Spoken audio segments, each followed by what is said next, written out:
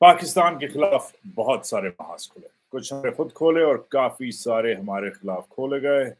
आज का महाज 9 मई के नाम। 9 मई इसलिए क्योंकि आज तो 19 मई है तो 9 मई किस लिए? 9 मई इसलिए क्योंकि मैं समझता हूँ कि उसके बाद भी हुआ तो मगर 9 मई को जो हो गया है आप इमरान खान की तेरह महीने की जो जद्दोजहद है का जो स्ट्रगल है जो भी आप कह लें, एक तरफ़ और इस्टेब्लिशमेंट की जो दीवार दीवारबंदी, जो उसने बंद लगाए वो एक तरफ़, उसका जो पुश बैक आया आप उस स्ट्रगल को एक तरफ़ रखें और 9 मई के बाद जो पेस पकड़ी है, जो स्पीड पकड़ी है फौज ने स्पेशली उसको देखते हुए आज मैं ये पहला लाइव रिपोर्ट कार्ड इसलिए कर रहा हूँ क्योंकि मैं चाह रहा था कि जो हो वो बगैर किसी फेयर के, बगैर किसी एडिटिंग के, बगैर किसी रीथिंकिंग के, क्योंकि जब आप रिकॉर्ड करते हैं कोई चीज़ तो आप कहते हैं, यार, इधर से मैं निकाल दूँ, ये ज़्यादा कह दिया, ये कम कह दिया। आज ऐसा कोई नहीं है। दूसरा इसलिए क्योंकि रात को कुछ ऐसी चीज़ें हुई हैं, ज़ाती तौर पर मेरे दोस्तों के साथ मेरे, मेरी फैमिली के साथ आप कह सकते हैं। जिन्होंने मुझे एक तो बहुत रात में मसरूफ रखा, मैं सोया नहीं हूँ पूरी रात।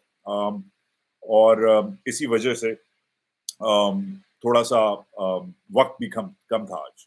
उस पर मैं बाद में आऊँगा, मगर पहले शुरू करते हैं कि आज है, आवाज़ है। आवाज़ ओके है तो क्लियर करें। आवाज़ ओके है? आवाज़ क्लियर है? आवाज़ ओके है? नहीं है। ओके राइट गुड तो अगर आवाज़ ओके है तो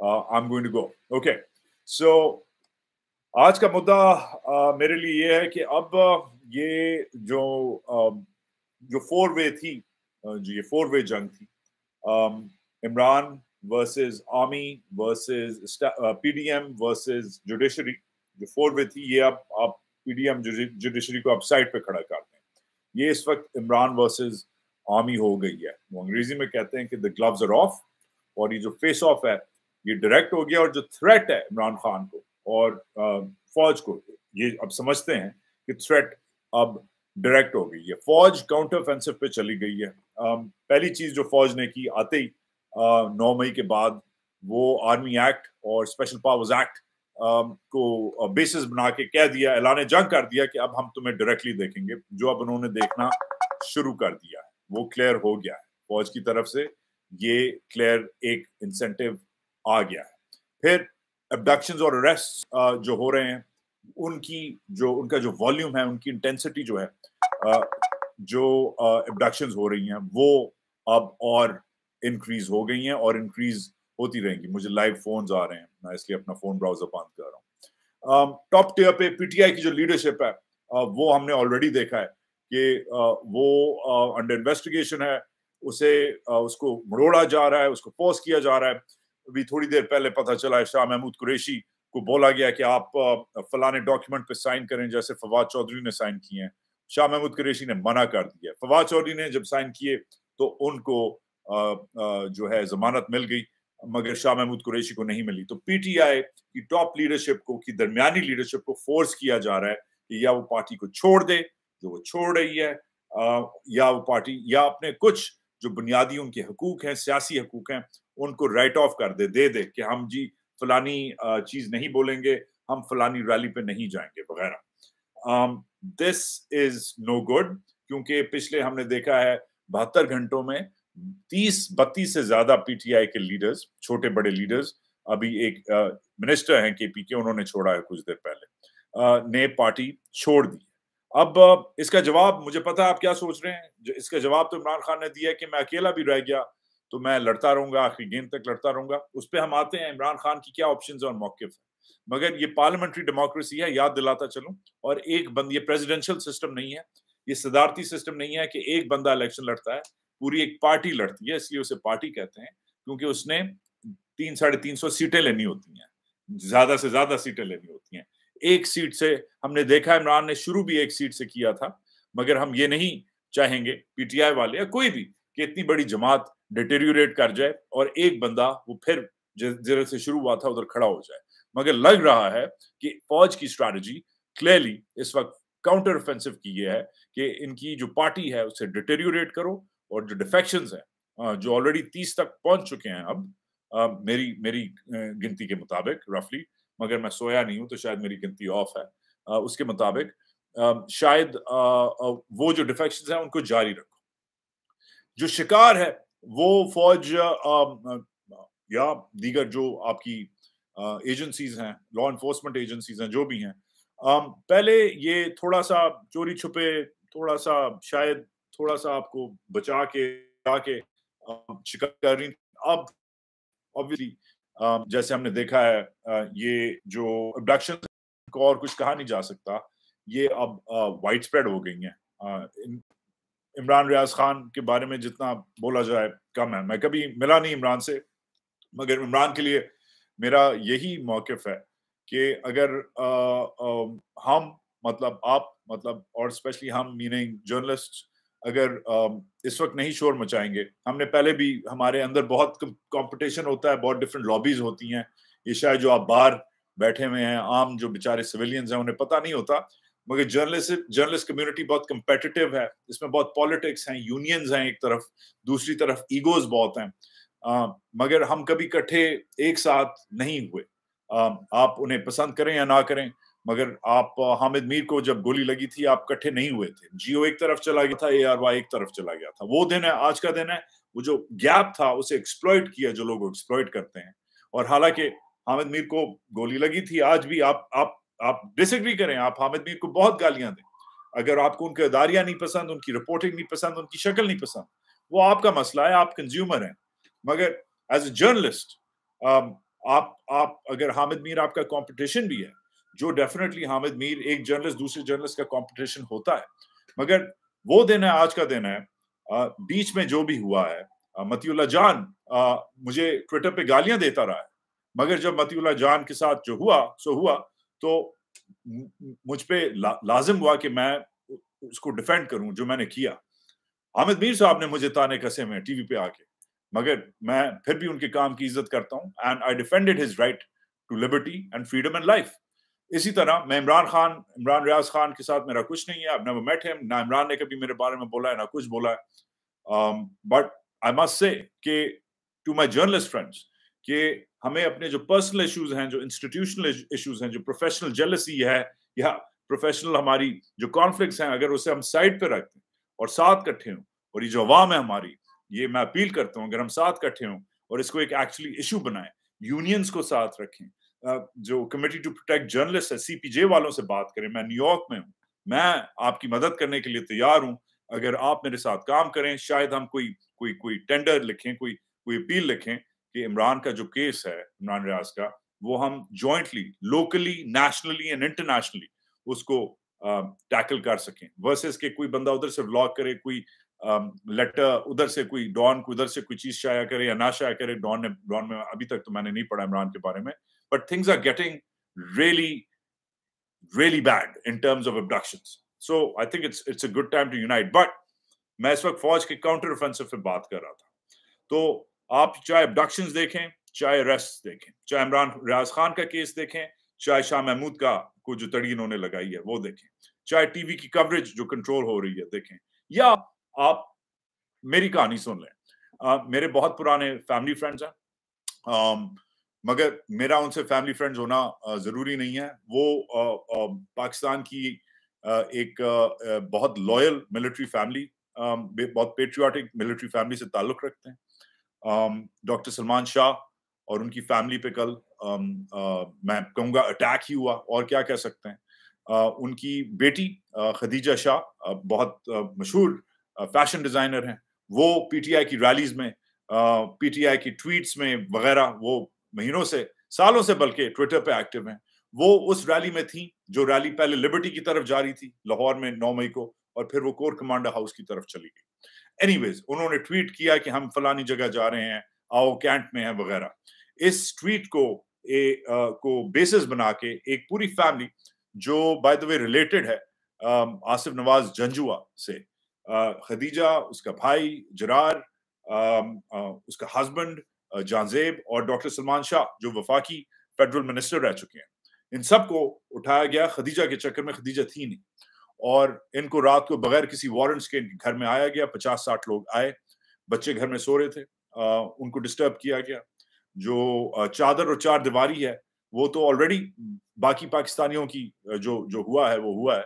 मगर मेरा ख्याल है इस बार इस फौज की तारीख में पहली बार एक आर्मी चीफ जो वफात पा गया है एक लेजेंडरी आर्मी चीफ पे की चादर और चार दीवारी उसके घर की ऐसे इस तरीके से उसकी बेहरमती की गई।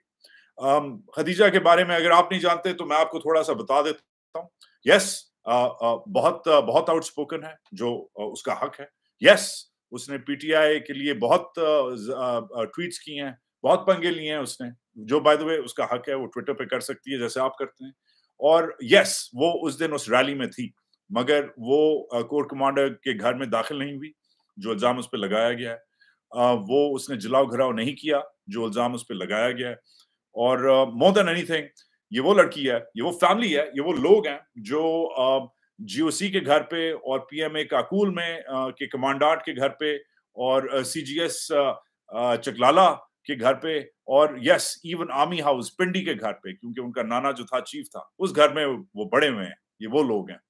और आ, मैं नहीं देख सकता आ, क्योंकि अब तक शायद ये जो चीज़ थी ये कल मैं बात कर रहा था एक और दोस्त से उसने मुझे कहा कि यार दिस इज़ गेटिंग रियल अब एक तरफ़ जब हम जब कोई चीज़ जाती होती है तो आपको बड़ा केयरफुल होना पड़ता है कि आप इसको अब कैसे इस पे तजिया करेंगे क्या लेंगे आप?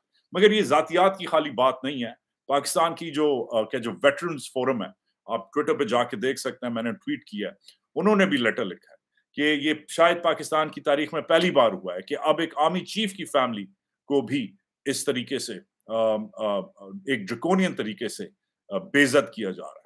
और खदीजा अभी तक हाइडिंग में है उसके खिलाफ जो इश्तेहारी खबरें चल रही हैं, वो इनके चैनल जो हैं, वो चला रहे हैं।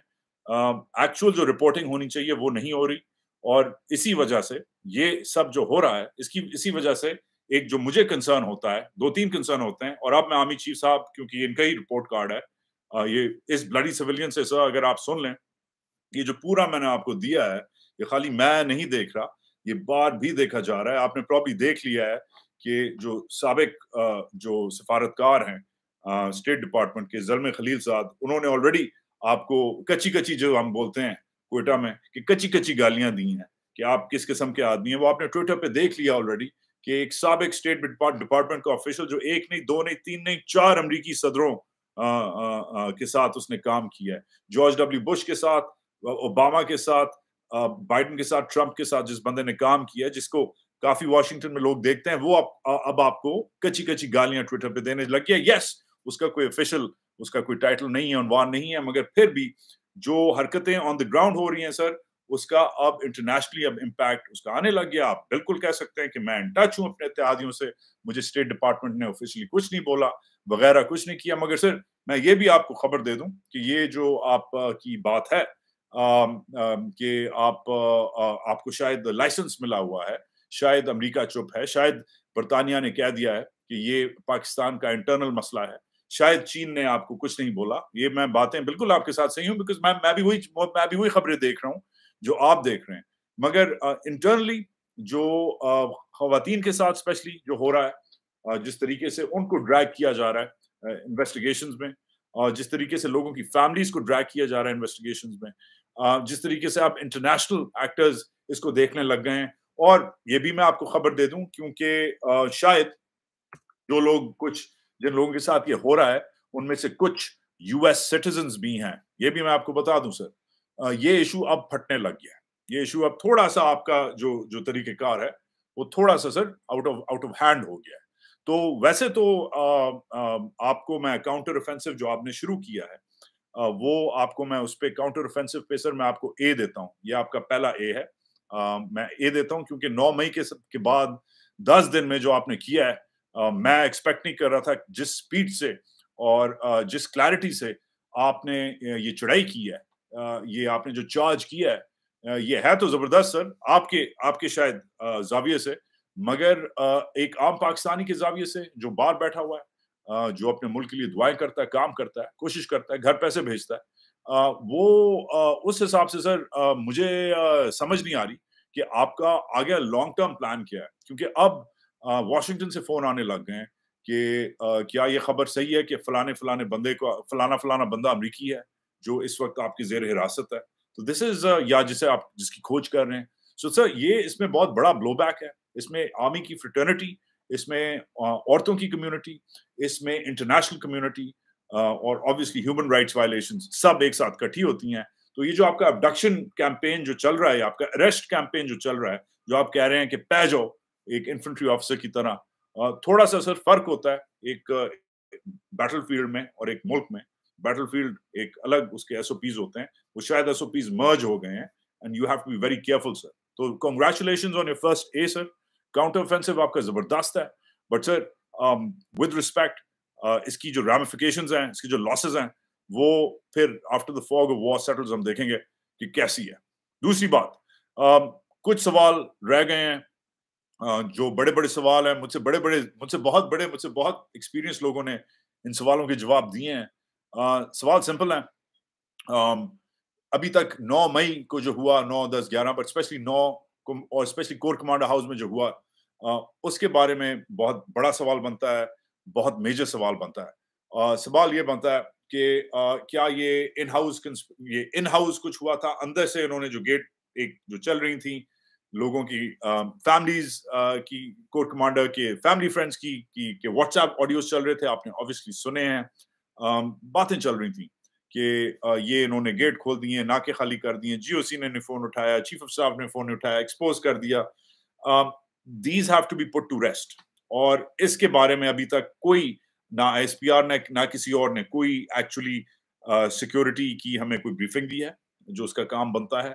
इनफैक्ट जो जो चेंज हुआ है, उसमें जिसको कोर कमांडर को हटाया गया है, दीगर और उसके अफसरों को हटाया गया है ब्रिगेडियर्स को हटाया गया है सीओज को हटाया गया है, इन लोगों को क्यों हटाया गया है? और और किस लिए हटाया गया है? और वो, ये लोग अब किधर हैं? और ये जो बहुत बड़ा इल्ज़ाम है कि ये किया ही पूरी पीटीआई ने किया है। तो अगर पीटीआई ने किया है तो इतने फौज के सीनियर ऑफिसर्स को क्यों हटाया गया? ये एक तो ये मैं सवाल पूछता हूँ कि corps commander three star general एक ब्रिगेडियर कम अज कम कम अज कम दो सीओज ये ये ये किधर है? ये चीफ ऑफ़ स्टाफ जो एक जनरल ऑफिसर होता है ब्रिगेडियर होता है किधर है सर? ये ये लोग किधर है? सो so, uh, अगर ये वाकई ही पीटीआई के जत्थों ने किया है हुए तो फिर सवाल फिर से पूछूँगा कि अपने जर्नैलों को और ब्रिगेडियर्स को और कर्नैलों को आपने क्यों गायब किया है? उनको क्यों अपनी जॉब से हटाया है? और वो वो किधर है? और क्यों? और वो वो आपकी एक पोस्ट फैक्ट ब्रीफिंग जो होती है पोस्ट कॉन्फ्लिक्ट ब्रीफिंग जो होती है सिट्रैप जिसे कहते हैं, वो आईएसपीआर हमें क्यों नहीं बताता? जैसे जब झड़प होती है बाजोर में या वजीरिस्तान में तो आईएसपीआर कहता है, झड़प हुई, ये शहीद हुआ, ये फारिग हुआ, इसे तमगा ये मिला, इसे ये नहीं मिला। तो फलाने लोगों ने अटैक किया, फलाने लोगों ने डिफेंड किया। तो ये हमें क्यों नहीं पता चला कि क्या हुआ है? क्योंकि एतजाज एहसन जैसा बंदा अब खड़ा होके, जो बाय द वे आपकी इतिहादी पार्टी का बहुत बड़ा लीडर है। वो आके कहने लग गया है। वो इमरान खान की साइडें लेने लग गया है कि ये तो नज़र ही नहीं आता। और मैं भी by the way Lahore garrison में रहा हूँ। मैं बिलीव नहीं कर सकता कि मॉल इतना लंबा जो है, वो पूरे मॉल पे कम से कम दो नाके लगते हैं। एक मेन पे लगता है अपर मॉल से आने से पहले। एक अपना जो फोर्ट्रेस वाला है नाका, वो लगता है। उधर एयरपोर्ट वाली साइड से लगता है। उधर कैवलरी वाली साइड से लगता है। नाके ही नाके हैं। नाके नाकों में एक पूरा जत्था आता है और इन्फॉर्म कोई नहीं होता। ये क्योंकि मैं खुद रहा हूँ लाहौर में I don't find it believable but चलें maybe you do so we would very much like to know क्योंकि ये जो आपने सात, आठ सौ, नौ सौ हज़ार अफसरों का जो आपने आई एस पी आर बनाया हुआ है, ये कर क्या रहे हैं? इन्हें कहें, यार, एक ब्रीफिंग बनाओ, लोगों को बताओ, ताकि लोग हमारे, हमें बिलीव करें। क्योंकि आपने अपनी पिछली ब्रीफिंग में अपने पिछले उसमें कहा था प्रेस रिलीज़ में, कि हम लोगों को साथ लेके चलेंगे। तो लोग से तैयार हैं, मैं तैयार हूँ। आप मुझे बताएँ, मुझे फ़ोन करें। कहें, वजात, यार ऐसा कर, बता, ये ये ये ये ये जो नाका ऐसे ब्रीच हुआ था, इधर से आए थे, इधर से आए थे कोऑर्डिनेट्स दें आई टेल यू स्टोरी अगर आपके कर्नैल और आपके जो ब्रिगेडियर्स हैं, जो आपने फारिग रखे हुए हैं आईएसपीआर में, नहीं बता सकते, अगर इनकी अंग्रेज़ी, उर्दू, पंजाबी सही नहीं है, मेरी ठीक है। मुझे बताएँ आई टेल योर स्टोरी मगर ओपन अप तो करें। प्रेस से अगर बात नहीं करेंगे, लोगों को उठाते रहेंगे तो is that the right way तो क्वेश्चंस रिमेन नौ मई को हुआ क्या है? और उसके बाद ये एक्चुअल सिक्योरिटी का मसला था। इसलिए ये लड़के आपने फारिग किए हैं। या वाकई इन हाउस कोई और चक्कर था कि कोर कमांडर को एक्सपोज करना है ट्रैप ले करना है, क्या था? तो जब तक आप खुद ट्रांसपेरेंटली सर अगर आप, जब तक आप खुद, फौज खुद पाकिस्तान की आवाम को क्लियरली नहीं बताएगी कि 9 मई को ये ये ये ये मसले हुए थे। लोग आपको बिलीव नहीं करेंगे सर इसलिए क्रेडिबिलिटी पे सर सॉरी टू से आपको काउंटर ऑफेंसिव पे मैंने ए दिया है। मगर क्रेडिबिलिटी और ट्रांसपेरेंसी पे सर आपको डी मिलता है इस महीने क्योंकि इस वक्त ट्रांसपेरेंसी का शफाफियत का वक्त है और आप शफाफ बिल्कुल नहीं है सर। आ, फिर आते हैं इमरान खान पे। इमरान खान की वॉर गेमिंग थोड़ी सी कर लेते हैं। इमरान खान सॉरी टू से मैं आ, क्या बोलूँ? इमरान खान की जो मैसेजिंग है वो जो हो गई है थोड़ी सी इमरान खान मुझे आ, लग रहा है कि थोड़ा सा उन, उन्होंने लूज किया है। थोड़ा सा नहीं, काफ़ी लूज किया। ऑलरेडी मैंने आपको बताया, इमरान खान ने तकरीबन 20 25 30 उसके लीडर्स चले गए हैं। उसके बहुत सारे लीडर्स अंडर रेस्ट हैं। इमरान खान की लेटेस्ट जो अभी कुछ मिनट पहले जो प्रेस कॉन्फ्रेंस हुई आपने देखी है। इमरान खान एक की मैसेजिंग जो है वो एक जगह पे आके अब खड़ी हो गई है कि मुझे कल अदम करना चाहते हैं, पार्टी को कल अदम करना चाहते हैं, मगर मैं लास्ट बॉल तक खेलता हूँ तो मैं आखिरी बॉल तक खेलता रहूँगा। ठीक है? मगर इसको सॉरी टू से मगर ये मुझे बैकफुट इमरान खान का नज़र आने लग गया। शायद बहुत सारे देखने वाले इमरान खान के चाहने वाले हैं शायद पसंद नहीं करते। मगर ये मेरी रिपोर्टिंग है, ये मेरा तजिया है। सब्सक्राइब करना है, करें, नहीं करना है, बढ़े। बट इमरान खान मुझे बैकफुट पे नज़र आ रहा है। बड़े अरसे बाद मुझे इमरान खान बैकफुट पे नज़र आ रहा है। नौ मई तक इमरान खान बैकफुट पे नहीं था।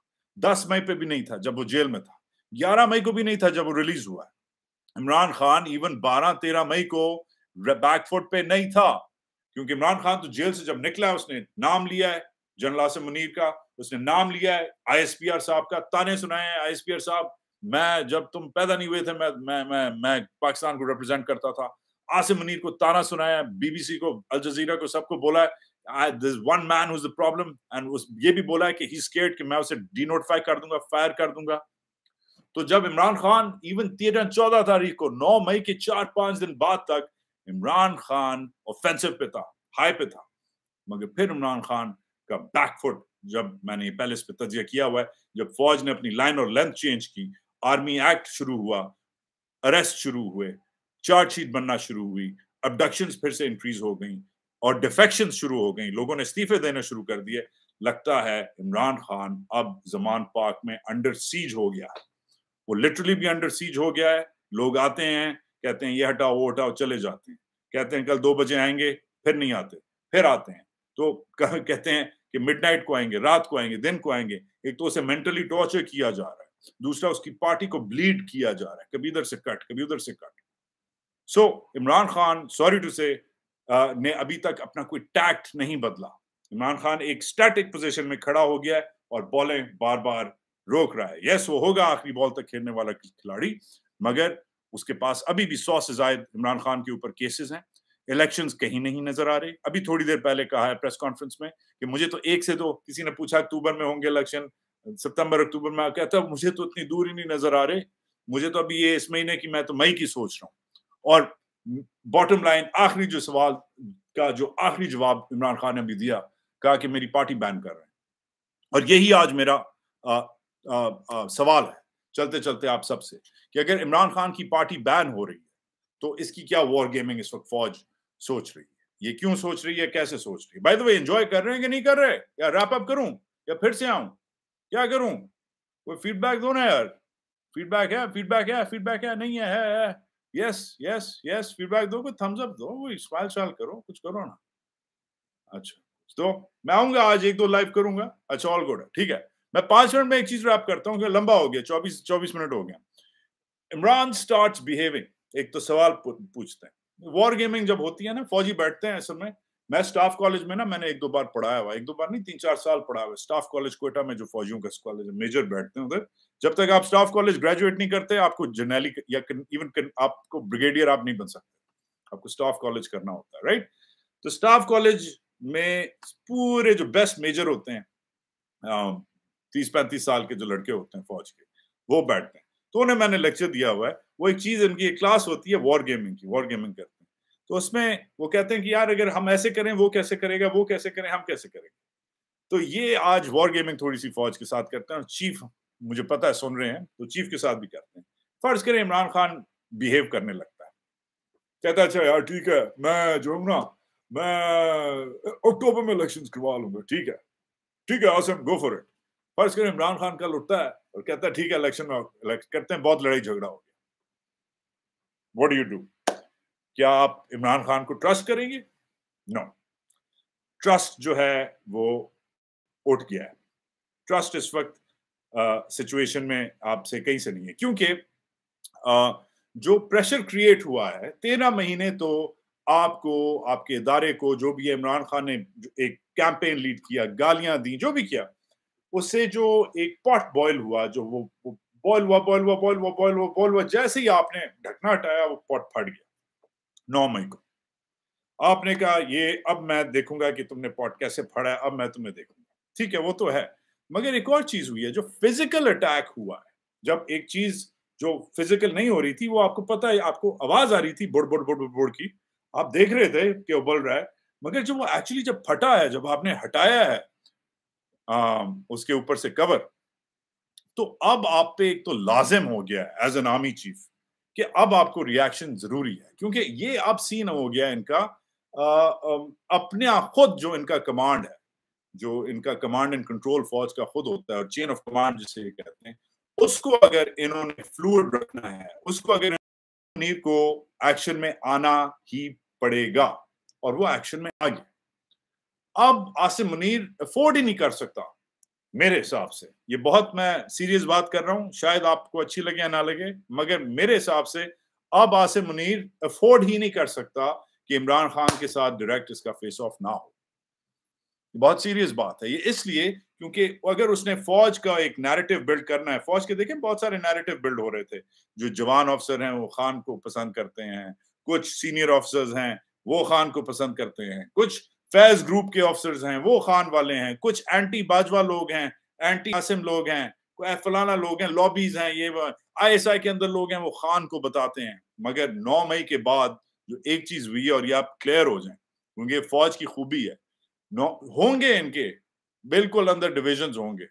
फौज फौज में ऐसे मैंने देखा हुआ लड़के बैठे हैं टीवी देख रहे हैं मैच आ रहा है, एक बंदा शाहिद आफरीदी को गालियाँ दे रहा है, एक कप्तान, एक मेजर कह रहा है शाहिद आफरीदी जैसा बैट्समैन ही नहीं है राइट एक ही मैच देख रहे हैं, एक ही कौमी टीम का मैच देख रहे हैं, एक ही बैट्समैन को एक बंदा गाली दे रहा है, एक बंदा उसे नहीं गाली दे रहा।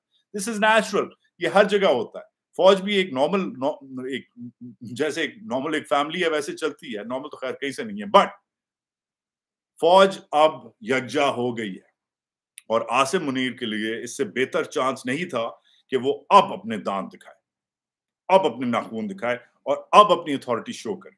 और इसलिए हमने देखा है कि 9 मई के बाद वो बंदा जो बड़ा कम निकलता है, आप जाके आईएसपीआर में इनकी एक्टिविटीज़ देखें कि पिछले चार महीने से उन्होंने किया क्या है और आप पिछले दस दिन में इनकी एक्टिविटीज़ देखें कि उन्होंने दस दिन में क्या किया सियालकोट गैरिसन का दौरा पिशावर का दौरा स्पेशल कोर कमांडर्स कॉन्फ्रेंस इधर मीटिंग उधर meeting rose he is up to something तो Asim Munir has hit the field वो फ़ील्ड में उतर आया ठीक हो गया और जब जर्नैल फ़ील्ड में उतर आता है देन हर एक एक्टिव हो जाता है तो फौज को वो अब वो बकअप कर रहा है और उसने देखा है कि इससे बेहतर फौज को यूनाइट करना मेरे अंडर क्योंकि आसिम मुनीर के ऊपर जो चार्ज लग रहा था वो ये था कि वीक चीफ है ये रिटायर्ड लेफ्टिनेंट जनरल है इसे लोग पसंद नहीं करते। अभी थोड़ी देर पहले मैं इंडिया के एक शो पे था, वो एक इंडियन रिटायर्ड जनरल कह रहा था कि ये तो इसकी ना पर्सनैलिटी है, ना इसकी प्रोफ़ाइल है, ना ये है, ना वो इसकी ये रेपुटेशन थी आसिम मुनीर की।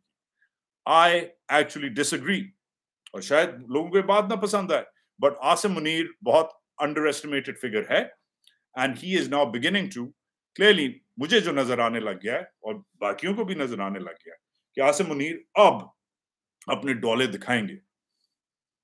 इसके आफ्टर इफेक्ट्स क्या होंगे?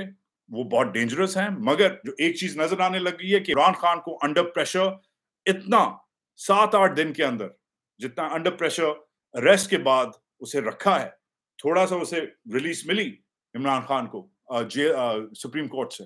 बट अब जितना आसिम मुनीर ने इमरान खान को प्रेशराइज किया हुआ है, और खाली इमरान खान को नहीं, उसकी पूरी जमात को, और खाली उसकी जमात को नहीं इवन खदीजा जाज शाह जैसे लोगों को जो ट्वीट कर रहे हैं उसके लिए इवन उनको भी अंडर प्रेशर कर दिया।